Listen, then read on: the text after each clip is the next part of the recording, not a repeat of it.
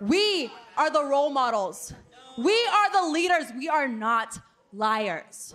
I told all of you we would win back our tag team titles when we wanted to. And now look at us. These titles represent our friendship because we've been and done everything together, and we're only going to get stronger because together we are unstoppable. You know what? You're right. Don't listen to these people because I actually wrote a poem for you that expresses exactly how I feel. So. Turn it off. Turn it off. Don't play this. No, we don't want to hear it. if you guys can please have a little bit of respect. I wanted to hear the poem. Sure you did. Well, they're the former champions who uh, Sasha Bayley knocked off last week. Okay, okay. See, I'm totally fine with y'all celebrating your victory and everything. That's cool. But when you start reciting poetry to each other, no, no, that's where we gotta really draw the line. No. Hello, ladies. Ladies, up here.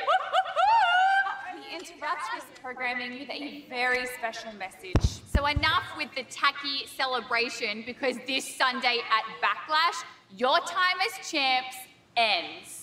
Yeah, we are not here to kiss spiders. No. And I'm about to hit you with some facts. What you got? Well, we have both beaten Alexa and Nikki recently.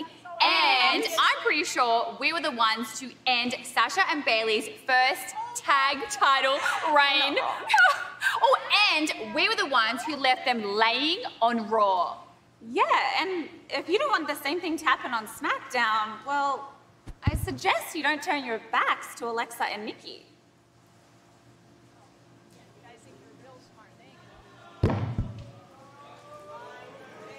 Oh, no. There we go.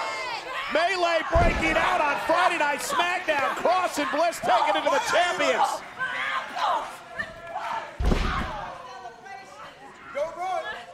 Sasha Banks was knocked out of the ring, and Bayley's going to join her.